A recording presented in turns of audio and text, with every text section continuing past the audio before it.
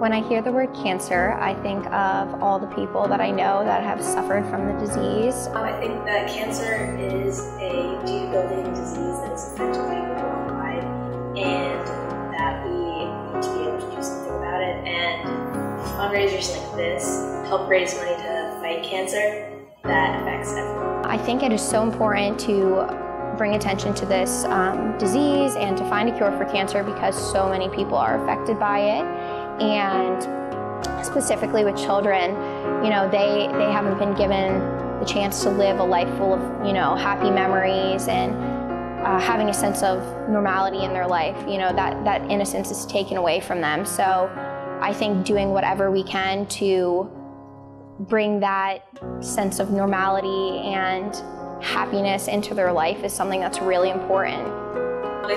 Cure specifically targeted at closer to home for a lot of people because it's one thing to see adults go through something so traumatic, but it's another thing completely to see a child who has done nothing in their life. They still have an entire life ahead of them, everything to live for, fighting a disease that they might not have a great chance of beating. And so any money that we can raise towards this cause, both